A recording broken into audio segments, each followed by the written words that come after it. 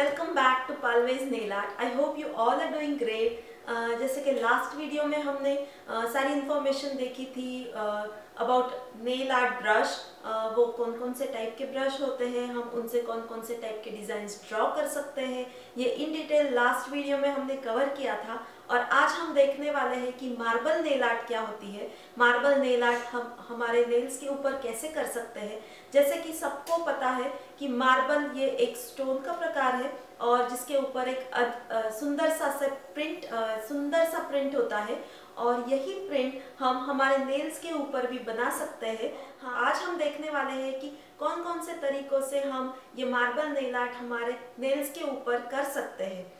In detail हम ये सारे तरीके आज सीखने वाले हैं और इनके लिए आ, सो आज के ट्यूटोरियल के लिए हमें लगने वाले हैं आर्टिफिशियल नेल्स और जैसे कि लास्ट वीडियो में मैंने बताया था कि आर्टिफिशियल नेल को होल्ड करने के तरीके कौन कौन से हैं तो उनमें से ही ये तरीका हम लोग यूज़ करने वाले हैं। यहाँ पे मेरा एक ब्रश है और जो मैं यूज़ नहीं करती हूँ इसके एंड में मैंने एक स्टिकी ग्लू लगाया हुआ है और इस स्टिकी ग्लू के ऊपर मैं मेरा नेल आर्ट का ये आर्टिफिशियल नेल स्टिक करने वाली हूँ और इसके ऊपर मैं आज नेल आर्ट करने वाली हूँ। आज हमें लगने वाली है नेल पॉलिश कुछ ब्राइट कलर्स और कुछ लाइट कलर्स आज हम यूज़ करने वाले हैं।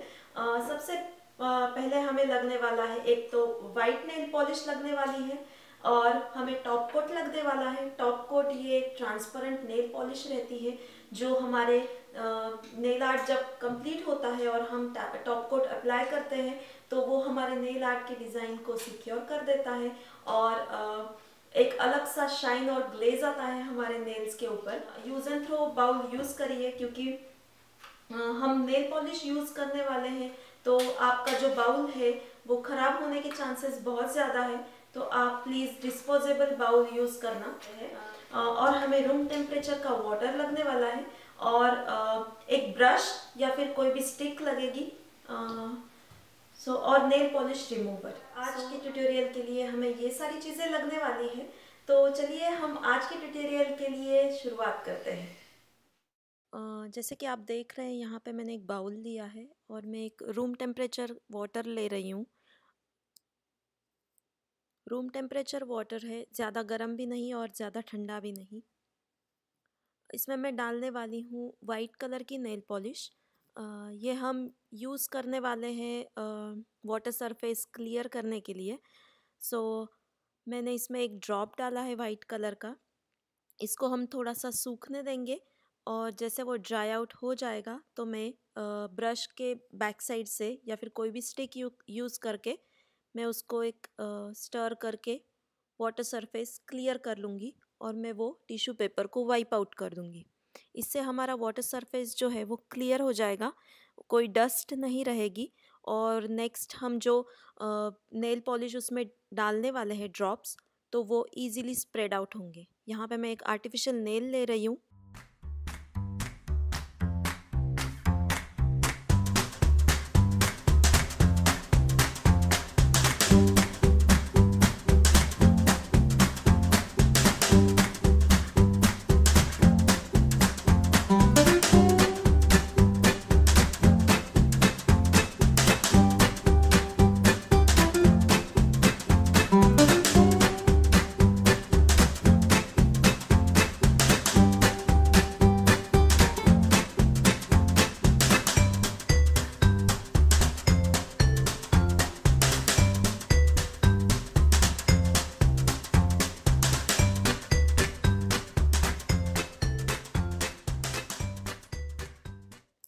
यहाँ पे मैंने एक अच्छे से नेल पैटर्न रेडी करके रखा हुआ है और इस पैटर्न में हमें जो पोर्शन अच्छा लग रहा है या हमें हमारे नेल के ऊपर चाहिए उस पोर्शन को लेके हम जो ने, नेल जो है वो अंदर डिप करेंगे वाटर के अंदर वो डिज़ाइन के ऊपर और जो साइड का पोर्शन है वो ब्रश के बैक साइड से हम वाइप आउट करके लेंगे।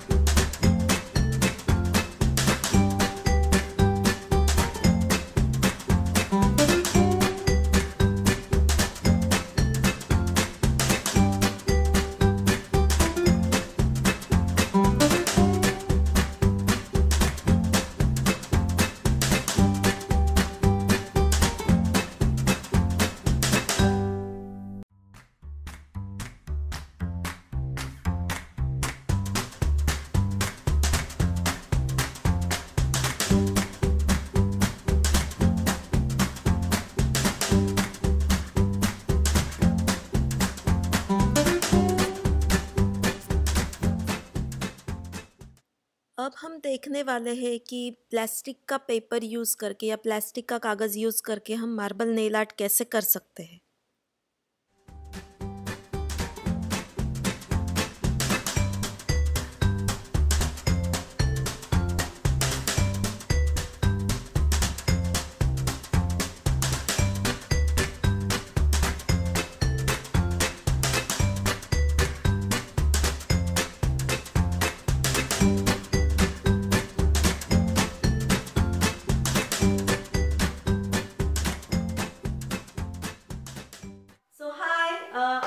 ट्यूटोरियल ख़त्म हो चुका है और आज हमने अच्छे से सीख लिया है कि मार्बल नेल आर्ट क्या है, हम उसको किस तरीके से हमारे नेल्स के ऊपर बना सकते हैं और डिफरेंट डिफरेंट टाइप्स के हमने आज टेक्निक्स देख लिए हैं। पर जब भी हम मार्बल नेल आर्ट हमारे नेल्स के ऊपर या आर्टिफिशियल नेल्स के ऊपर करते हैं तो प्लीज़ उसको सबसे महत्वपूर्ण बात है कि हम एक लाइट बेस कोट यूज़ करें। Light means nude colour use कर सकते हैं, या फिर हम एक वाइट कलर भी यूज़ कर सकते हैं। और जब हमारा मार्बल मेला कंप्लीट हो जाएगा तो हम उसको ड्राई आउट होने दें। और ड्राई होने के बाद उस पर टॉप कोट या ट्रांसपेरेंट कलर की जो नेल पॉलिश रहती है, वो ज़रूर अप्लाई करें। वो हमारे डिज़ाइन को सिक्योर करती है। और एक सुंदर सा ऐसे ग्लॉसी इफ़ेक्ट आता है और वो बहुत सुंदर दिखता है। सो so, इस तरीके से हमने आज मार्बल नेल आर्ट कवर कर लिया है। आई होप कि आप सबको आज का ट्यूटोरियल समझ में भी आया होगा और अच्छा भी लगा होगा। अगर आपको समझ में आया है अच्छा लगा है तो गिव मी थम्स अप और सब्सक्राइब करिए। अगर आपने अभी तक मेरे चैनल को सब्सक्राइब नहीं किया है तो सब्सक्राइब करिए, क्योंकि मैं और भी बहुत सारी चीज़ें लेके आने वाली हूँ जल्द ही। तो प्लीज़ स्टे ट्यून और सब्सक्राइब करिए शेयर करिए और लाइक करिए। हँसते रहिए और खुश रहिएगा। बाय